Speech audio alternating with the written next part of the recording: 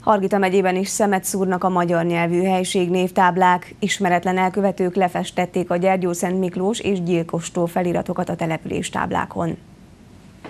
Fekete festék borítja a magyar feliratokat a Gyergyó Szent Miklós gyilkostó felüli kiáratánál és az üdülőtele bejáratánál található helység névtáblákon. Az önkormányzat kivizsgálási kérelemmel fordul az országos rendőrséghez.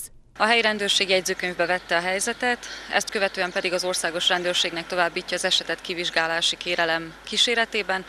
Remélhetőleg az elkövetők kilétére fény derül, hiszen a kár kiavításának a költségei, illetve a jogsértés is büntetést vonhat maga után, akár több ezer lejes szankciókra is számíthatnak majd az elkövetők. A festéket megpróbálják eltávolítani, ha nem sikerül, ki fogják cserélni a táblákat. A polgármesteri hivatal és a rendőrség kéri a városlakókat, hogy jelezzék, ha bármilyen információval rendelkeznek az elkövetők kilétét illetően.